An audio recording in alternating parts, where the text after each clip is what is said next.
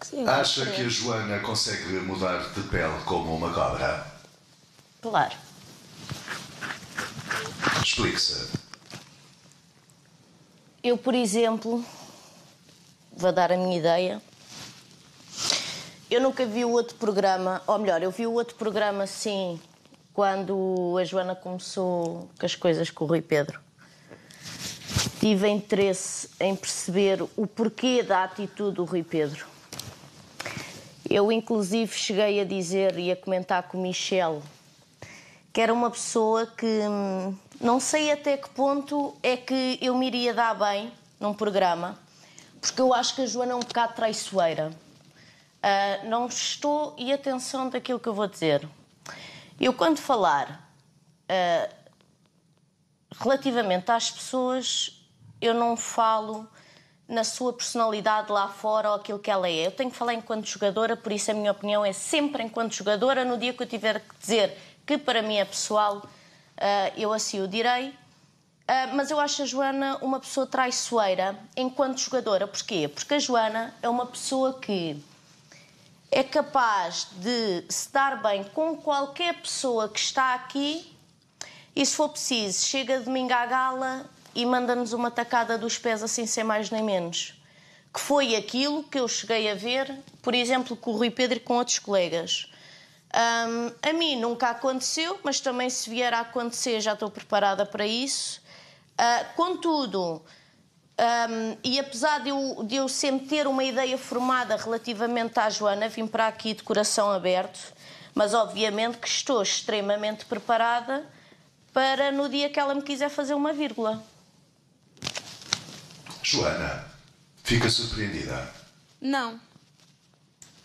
Porque claramente a Joana ficou afetada pelo, por aquele confessionário da, da gala, que na realidade eu já lhe tentei explicar, só que ela não aceitou a minha conversa e disse que não queria falar comigo.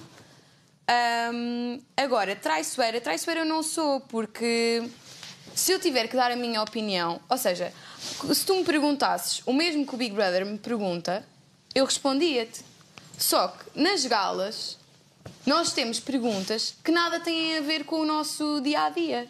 Eu, vou eu, eu, eu acho que tu és uma miúda extremamente inteligente que sabe onde falar, onde agir, como agir, da forma que agir, e eu hum, tenho uma ideia formada de ti que no dia em que eu tiver que falar, vou falar. Eu não sou nenhuma maluca e não vou falar as coisas só porque sim ou porque na, na, na, na, no outro Big Brother fizeste, aconteceste não sei quê.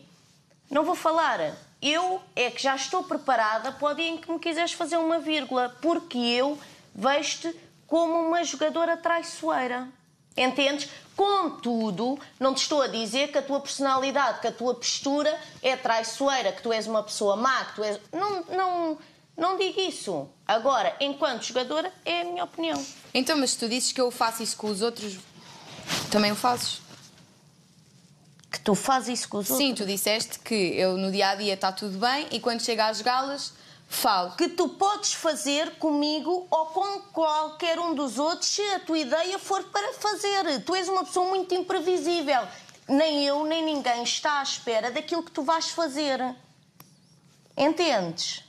Não entendes Explique porque... melhor o seu ponto de vista, Joana. Não a Joaninha. Eu? A Joana, porque estava a confrontar com uma incongruência à Joaninha, pareceu-me. Porque a Joana diz que eu, no dia a dia, não digo as coisas e depois, quando chega à gala, ah, digo as coisas como eu acho. Tu, por exemplo, Mas ah, Vamos acabaste de dizer que ias fazer exatamente o mesmo. Se não gostas disso em mim, se achas que eu sou traiçoeira, achas que não és Não, traiçoeira? não, eu estou é já à espera. Por exemplo, eu contigo, eu vivo à defensiva, porque no dia que tu me vies fazer uma vírgula, já eu já sei o pronta. que é que eu vou fazer. Estás a perceber? Mas eu acho que não precisas de jogar à defensiva comigo, eu não sou Mas nenhum bicho de preciso, sete porque tu és uma pessoa, enquanto jogadora, tu não dás ponto sem nó. Tu, tu és muito esperta. Enquanto jogadora, eu, eu, eu admiro a tua capacidade porque tu és capaz de fazer ah, coisas que, por exemplo, eu não consigo. Tu consegues guardar para ti, tu consegues estudar a coisa para ti, para no momento certo, na hora certa, Pau. pau. O Helder subscreve as palavras da Joaninha, é isto? Sim, eu estou a entender aqui a Joaninha